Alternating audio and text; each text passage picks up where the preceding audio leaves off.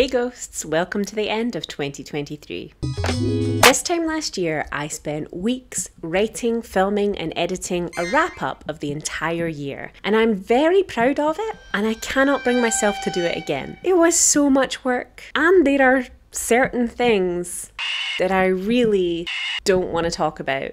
So instead, I'm doing a top 10 weird things that happened this year. I was going to just focus on paranormal things, but I couldn't quite find enough. So we're going with weird, and I am defining weird as aliens would think that this is embarrassing for us. Because that's the real reason why we redefined the kilogram a few years ago. In 10th place is NPC streaming. If you don't know, an NPC is a non-playable character in video games. The people that stand at the side of the game and say meaningless arbitrary things whilst you, the main character, actually play the game. And what's happened is people are making videos where they impersonate a non playable character.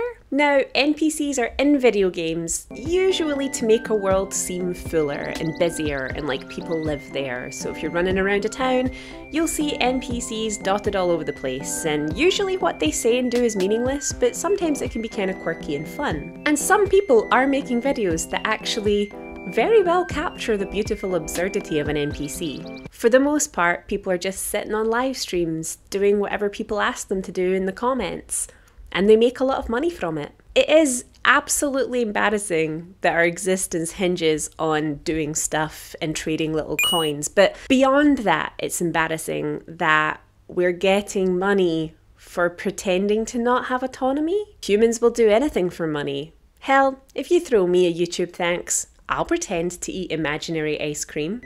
Mmm, pistachio is such an underrated flavour, but dulce de leche is my favourite. Mmm, pistachio is such an underrated flavour. That took way more effort than I thought it would. Maybe I have a newfound respect for people who do this NPC content stuff. No, no, I, I don't. I don't.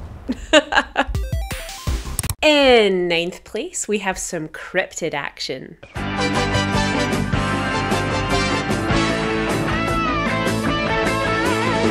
On the 10th of October, a woman called Shannon Parker was travelling on a train through Colorado with her husband when they saw something strange in the mountainside around them.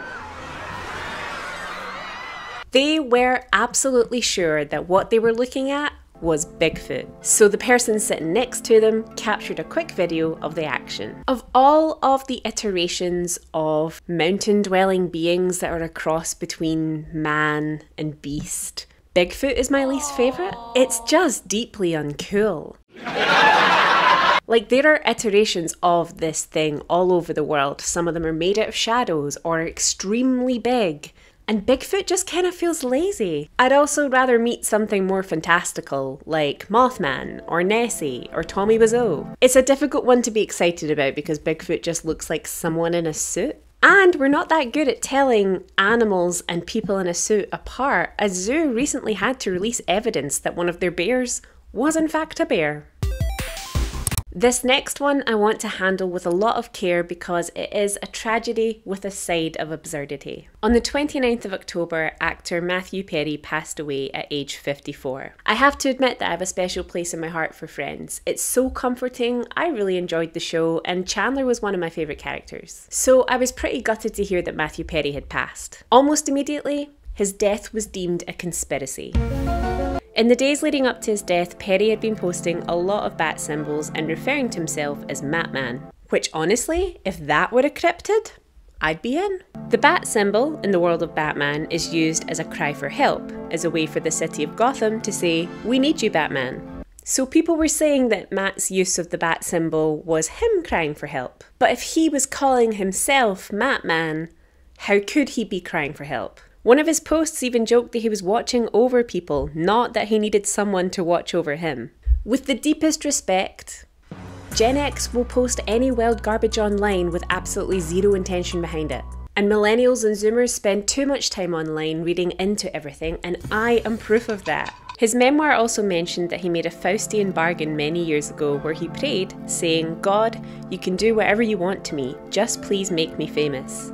And he alludes in his own words that he felt his struggles with addiction were the first part of that bargain, that God was doing something bad to him. So the conspiracy goes deeper, thinking that This was the ultimate finale of that Faustian bargain, and that Matt knew it was coming because the final chapter of his memoir was called Batman. I personally don't buy this conspiracy. I think that there's not enough coincidence, and it's also something that's very easy to make a lot of content about and get a load of clout. And on that note, this was the year that the most popular internet content was centered around human headed toilets. Skibidi Toilet is a viral series of videos that apparently portrays a war between toilets with human heads and humans with electronic devices for heads. Apparently, it's huge with Gen Alpha, and I have to admit that I've finally come to an age where I'm like, is happening to us? But then I remembered that in the early noughties we had the crazy frog, so maybe just demented, creepy media always has a grip on the youth. So this is a video of a singing head inside a, a toilet, yeah. And the toilet is the thing that you, yeah, the wee in, yeah. Yeah.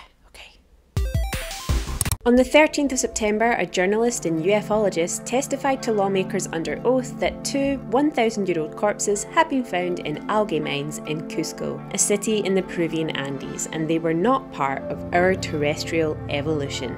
This was accompanied with photographs of the corpses, which are in some way mummified, which I guess explains why they look like an ornament that you could buy in an anthropology store. So, of course, there were all sorts of debates on whether this was real or fake. There has been research done on the DNA within the corpses, which has reportedly revealed that 30% of the DNA is unknown or not from any known species, which suggests that 70% of the DNA is from known species. Who's been f***ing the aliens then? There are so many theories about this and so little excitement about it. But it's in sixth place because I think that it takes a lot of balls to die on a hill of I found some mummified aliens inside a mine. Especially when five mummified bodies you also found in 2017 that you also were sure were aliens turned out to be human children. Dolphins now have thumbs. Scientists examining a unique society of mixed species dolphins in Greece recently discovered a unique specimen with thumbs. Now, opposable thumbs are one of the things that has given humans the unique advantage of becoming the dominant life force on Earth. So, I fully welcome our dolphin overlords. Some people call them hoop jumping tuna mar- I can't say it.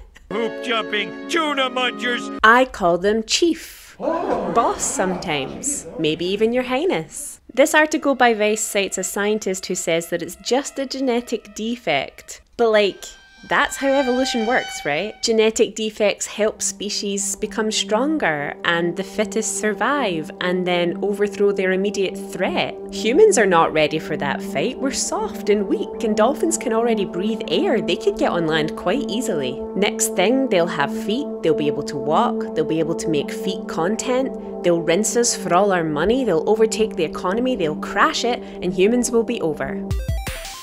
In fourth place, the doomsday clock was adjusted. Now, prior to this year's adjustment, I didn't actually know this existed. But of course, something called the doomsday clock exists. We are in full moralless chaos these days. The clock serves as a metaphor for how close humanity is to destroying itself, with midnight being an apocalyptic event. It was set at 7 minutes to midnight when it debuted in 1947 and has since changed 25 times. Honestly, as far as years go, I would have thought 1947 was a wee bit after.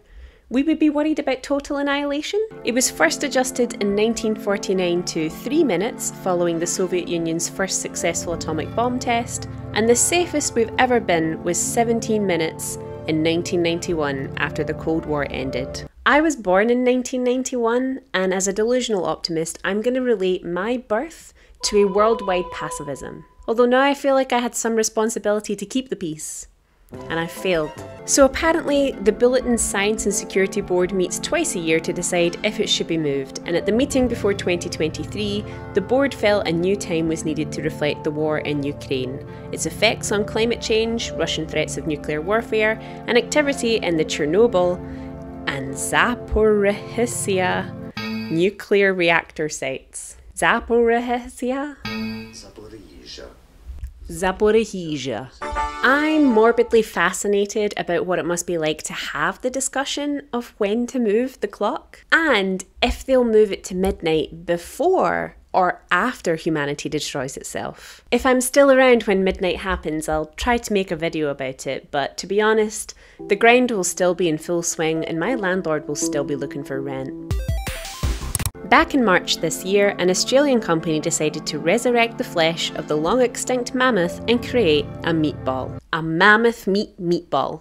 They were able to use some preserved mammoth DNA to create the flesh, but nobody has actually eaten the mammoth meat because we're worried that we can't digest it.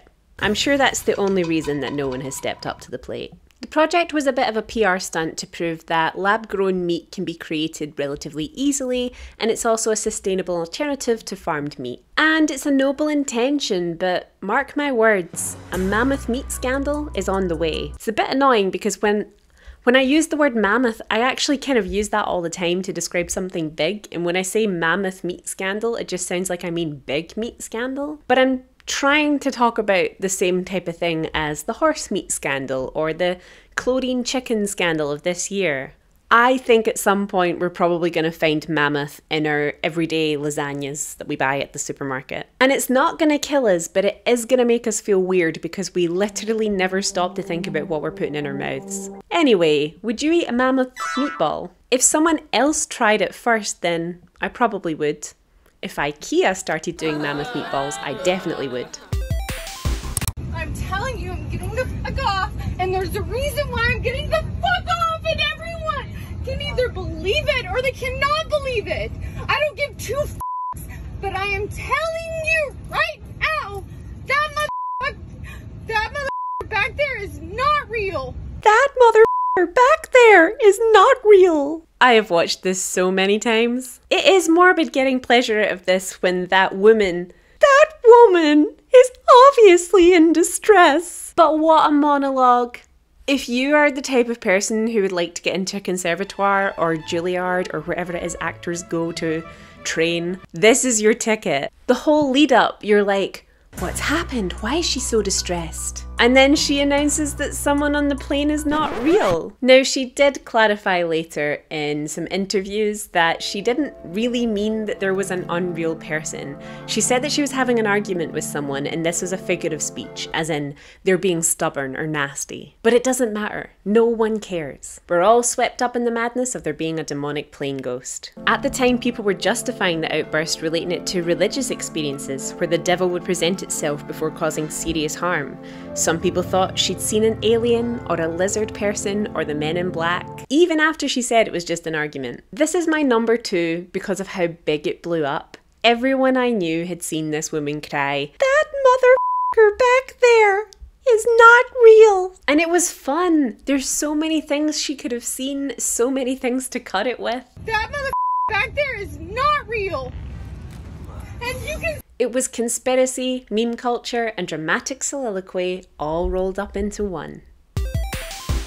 Okay, it's time for the weirdest thing that happened this year. The thing that if aliens were visiting, they'd be like, what the is wrong with you? The number one weird thing that happened is that aliens exist and no one cares. In the summer, some former military officials testified to the US Congress that the US government has UFOs, one of the whistleblowers said that the US government possesses retrieved intact and partially intact craft of non human origin. There was tons of coverage on this because, unlike the Peruvian mummy guy, these guys were respected members of government. They stood to gain nothing by claiming this was real. In fact, they kind of put themselves out on a limb, and nobody cared at all. The reality of real life, on the ground, day to day existence has completely crushed our sense of wonder and excitement at life beyond our world. And that's the most tragically weird thing that could ever happen. So thanks for watching my top 10 weird things that happened in 2023. I'm sure I'll have missed some stuff, and if I have, let me know in the comments. Let's hope we have another year of weirdness ahead of us. Aliens, if you are watching, don't concern yourself with the human race. We are not a threat. Concern yourself with dolphins. They're smarter, they're more evil, and they're fun, and they're cute, and they're so nice. And I'll see you next time.